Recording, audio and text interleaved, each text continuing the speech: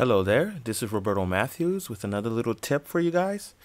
So, you have your blogger and you feel like you want to host all your YouTube um, information into Blogger, which seems pretty natural. You know, YouTube is owned by Google, Blogger is owned by Google, everything should work fine. And you get it to work, you know, just adding the information. But this is what happens when you add anything more than five videos to your Blogger. Obviously, everything has to load. So it takes some time.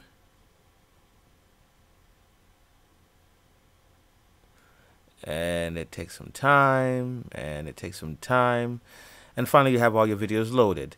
So, of course, you can use a YouTube playlist, but um, it doesn't work exactly how you want it to work because the YouTube playlist only comes up uh, within the actual video. So, uh, what I wanted to show you how to do is I did the same thing up here, but as you can see, there's just one main video. And if they want to come up here, there's a little playlist here. So when they click on the playlist, it just opens up in the same little window here. And then they can go back to the first video and everything works perfectly and it loads only one video at a time. And I'm going to show you how to do that real quickly. Um, it's already written out, so it's going to be really easy to show you. So here's the original. And as you can see, all I did was copied from uh, YouTube. Of course, here's your embed code. And of course, here's all your options. And you just embed this iframe. So that's all I did. I just copied and pasted for each one of the videos that I wanted into here. And I put, of course, I put it, you know, uh, 113, well, 200 by 113 so everything would fit nicely. Okay. Now, this is all well and good, but of course, it gives you all of this. And of course, even in within uh, Blogger, it takes a while to load everything up. So, uh, of course, if ever if you're on your iPad or iPhone or anything like that, or your smartphone, then uh, this is going to take forever.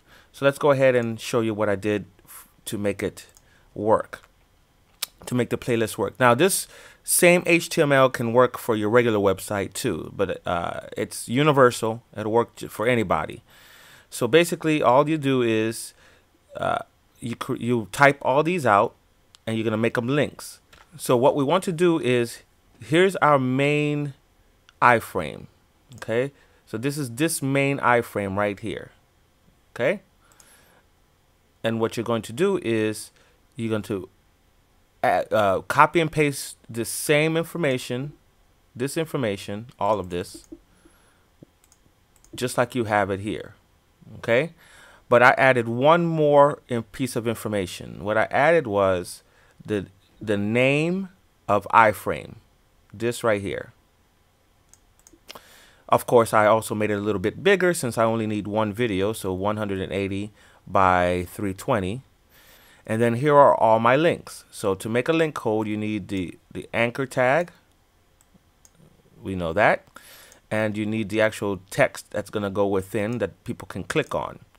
After that, you're going to tell them to reference the actual video. And then you're going to target the iframe. So when you click on it, it's going to actually target this iframe that I named iframe. Now, you don't have to name it iframe. You can name it anything you want. But of course, the target has to change to be what you want here too. And there you have it. Now, let's go ahead and delete. Let's go ahead and copy all this. Update it. Go here. Copy all this and paste it. Okay, do a little formatting here. So now that I deleted the um, testing one and I have here the original one and all published, when I refresh, you'll see how much faster everything loads because it only has to load one video much faster. I already did this over here also, although here I made it a much bigger video, but I did the same thing with a bigger video.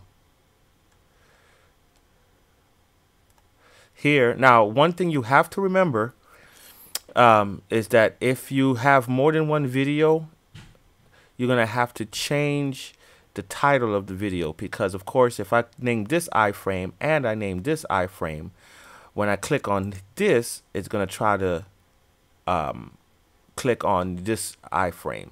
So make sure that when you do your iframe titles name it you know perhaps name it this one CTK Children's and name this one CTK Choir or something like that.